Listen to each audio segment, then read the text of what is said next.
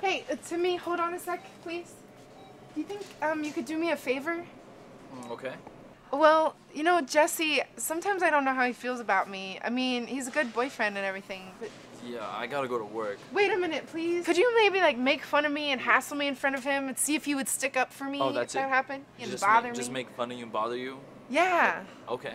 But just don't be too crazy or too mean. Not too crazy or mean. Yeah. Okay, I could do that for you. Thank you, man.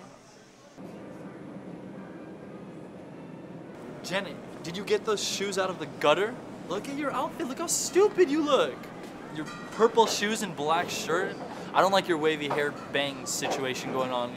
I don't like you. Hey, hey, hey, that's my girlfriend you're talking about.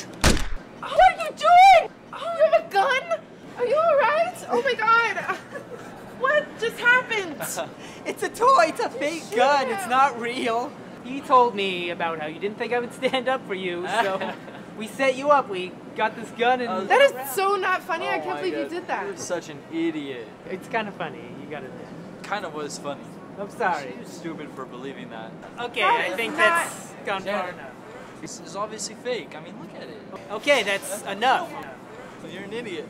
Hey. Hey, how about you just go, okay, Tony? All right. Just Okay. go, all Tony. right. Well, that answers my question.